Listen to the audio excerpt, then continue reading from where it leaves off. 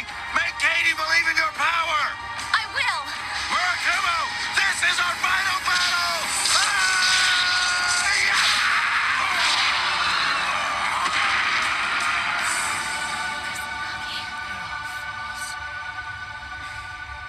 Our plan won't work.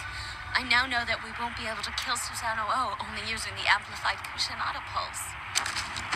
The two pulses, the resonance from the machine and the resonance from my reaction with Katie, were too different in strength and in feeling. Momiji, are you saying that using the pulse generator to amplify your power was just a waste of time? I was afraid this might happen. That can't be true! Are you telling me we don't have any chance of winning this battle? Katie, as your sister, I beg you, please help us. Can't you trust me, Katie? Mankind may have polluted Japan for a long time, but I know the two of us working together could change things. If all of the people living in Japan really tried, I'm sure we can change everything. The people who live in Japan now don't have the faith to do such a thing. We cannot trust them with the future of this land. Then tell me, why did you help me just now, Katie? To simplify the battle, I would have had to dispose of Orochi anyway.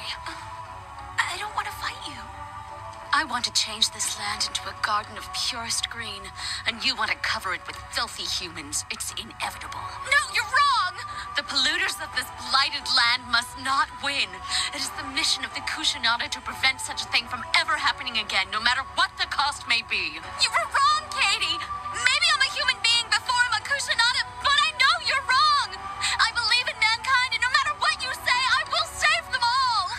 you're already too late, Momiji. The Cave of the Sun has been sealed.